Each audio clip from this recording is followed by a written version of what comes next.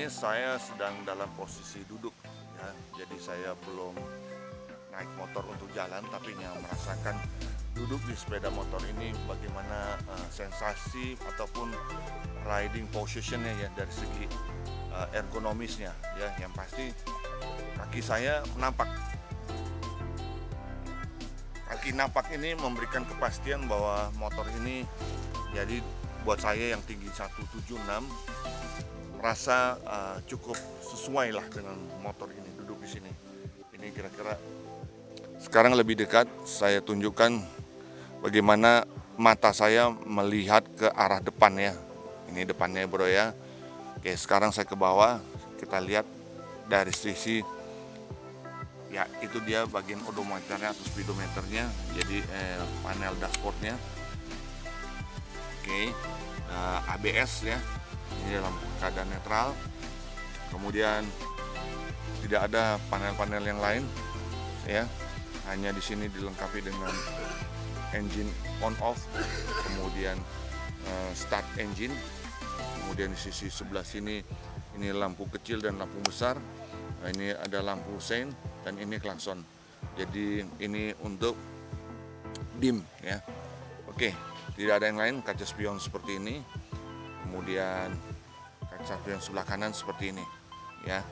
Uh, jadi ini dia dari posisi stang pos dashboard dan sedangkan ini tankinya bro ya. Tangki boleh saya katakan nah bro bisa dengar sendiri terbuat dari bahan apa ini. Kemudian di sini ya tentu juga ini terbuat dari masih bahan hmm, semi plastik ya. Kan ini ya tentu itu juga dari bahan plastik jadi kalau saya khawatir kalau untuk tank bag tank bag yang biasa udah magnet ini belum pernah saya coba apakah ini nempel atau tidak. Oke. Uh, dari sisi shock breaker yang menjadi ciri khasnya adalah upside down. Seperti ini kita lihat. Ini dia shock breakernya upside down. Kemudian kita melihat dari sisi mesin uh, eh, BMW ini untuk G310 mesinnya adalah satu silinder. Jadi udah nggak ada eh, nggak uh, usah diperdebatkan dan tanpa kromet jadi motor ini tidak usah diperdebatkan bahwa motor ini yang pertama kali yang dikeluarkan oleh BMW kerjasama dengan satu pabrikan yang lain. Nah dalam hal ini BMW mengulurkan motor 310 cc 310 cc satu silinder. Tentunya dilengkapi dengan menggunakan knalpot seperti ini. Oke ini adalah mesin. Bisa dilihat.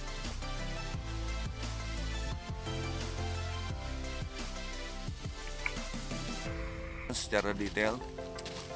Uh, lampu sen. Ya modelnya lancip. Upside down shock breaker depan untuk uh, atau spatbor depan ya. Rem cakram. Banyak merek Michelin. Tampak dari samping kiri seperti ini. Oke okay. uh, di bawah ada cover buat engine cover engine.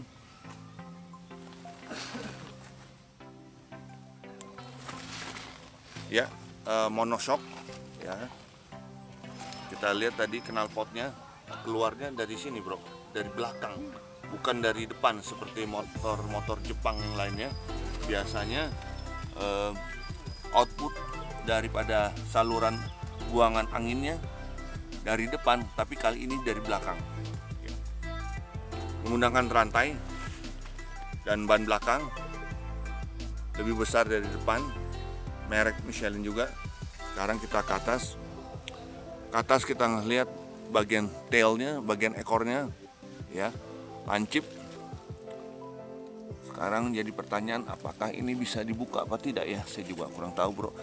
Oke sedangkan behelnya behelnya bisa dipakai untuk mengikat di satu ikatan.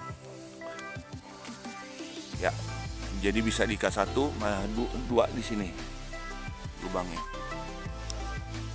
Sekarang saya perlihatkan dari belakang seperti ini lampunya lampu rem lampu belakang dan juga untuk lampu sennya model lancip. Ya seperti ini sosoknya kalau kita lihat dari belakang. Sekarang saya perlihatkan dari samping kanan belakang. Knalpotnya, saluran buangan anginnya, kemudian dia punya rem terbuat dengan rem cakram. Dan bagian engine dan seterusnya ke depan. Oke bro, gitu dulu sepintas saya memperlihatkan sosok dari BMW G310R.